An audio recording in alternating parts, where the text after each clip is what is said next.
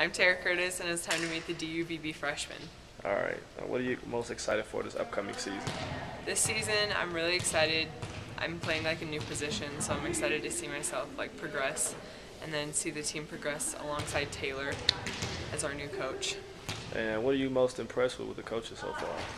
I think Taylor's use of like the whiteboard and like everything is a really visual type of learning situation is really good. But then Beth and Todd always bring in that really constructive criticism and a lot of passion, so that's nice. Uh, what's been the biggest difference between high school and college, experience-wise or even volleyball-wise? I think experience-wise, high school is a little.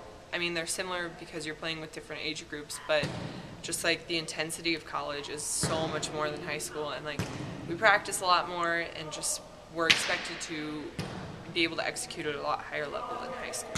And what team are you most looking forward to playing and why? At this point, I'm just looking forward to playing ASU because it's the first game, and I'm just super pumped up for it, and I don't know, it's exciting.